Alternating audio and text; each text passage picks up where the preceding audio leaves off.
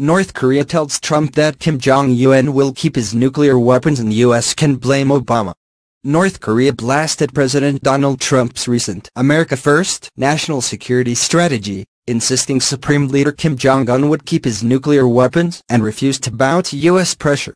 North Korea's foreign ministry issued Friday a scathing condemnation of Trump's debut strategy, saying it was only the latest of a number of U.S. failures to engage the reclusive, communist state that has amassed a powerful nuclear and ballistic weapons arsenal in defiance of UN sanctions. The ministry said that despite engaging in multilateral talks with the U.S. and other countries for two decades, the previous U.S. administrations threw all the agreements reached with us into a garbage can like waste paper, assuming the country would collapse.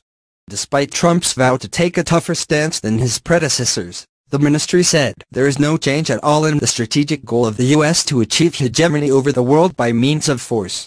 We chose the road of possessing the nuclear weapons to defend our sovereignty and rights to existence and development in the face of ever-increased hostile moves and nuclear threats and blackmail of the U.S. We are convinced that the only way to ensuring a lasting peace on the Korean peninsula is to have the deterrence that ensures a practical balance of force with the U.S., the ministry wrote, according to the official Korean Central News Agency. The international society should keep vigilance against the maneuvers of the Gang of Trump to invade and control the DPRK with force by igniting a nuclear war at any cost in the Korean peninsula and clearly see through the ulterior motive behind its repeated talk of dialogue, designed to cover up its evil intention and mock the world, it added, using the acronym for the country's official name, the Democratic People's Republic of Korea. The Gang of Trump likes to pose itself as if its country is a world superpower. However, the U.S. is nothing but a corpse going to the grave. The U.S. and North Korea's history began in the aftermath of World War II when the Korean peninsula was seized from the Japanese Empire and divided between the Soviet Union and the U.S. Tensions grew between the two satellite states, and in 1950, a bloody, three-year war broke out between the Soviet-backed North, with heavy Chinese support, and the South, supported by the U.S. and the UN, while an armistice was reached in 1953. With little territorial change, the two rivals technically remain at war today. Since then, there have been no formal relations between Washington and Pyongyang, which found itself firmly on the communist side of the Cold War. After the collapse of the Soviet Union in the early 1990s, however, then-President Bill Clinton demanded that North Korea allow entry to inspectors of the UN's International Atomic Energy Agency, who were refused in 1994, a violation of the deal that halted the Korean War. While carefully balancing escalation and diplomacy, Clinton managed to form the agreed framework between the pair, giving heavy oil and light water reactors to North Korea in exchange for a nuclear freeze, and the four-party talks involving China and South Korea in 1996. Diplomacy persisted under the administration of former President George W. Bush, despite him placing North Korea, along with Iraq and Iran, on his axis of evil.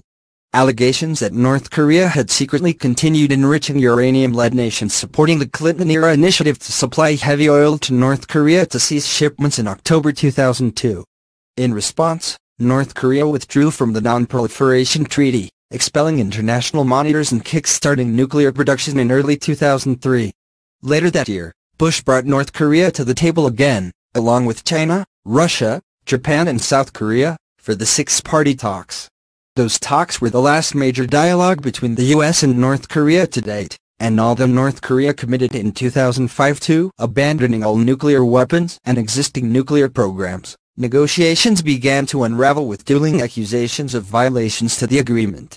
North Korea then tested its first nuclear weapon in 2006. In an effort to restart talks, the U.S. agreed to remove North Korea from the state sponsors of terrorism list later that year. Trump returned North Korea to the list last month, and in 2008, North Korea destroyed one of its cooling towers, used for nuclear production. North Korea pulled out of the six-party talks months into the administration of former President Barack Obama in April 2009, responding to the UN's condemnation of a failed satellite launch. Obama took a hardline stance, increasing sanctions and ordering cyber attacks against North Korea. When the youngest Kim inherited control of the country from his father in 2011, the millennial leader accelerated military and scientific accomplishments, with 2017 being his most successful year to date. Despite Trump promising to prevent any North Korea intercontinental ballistic missile ICBM launches or nuclear weapon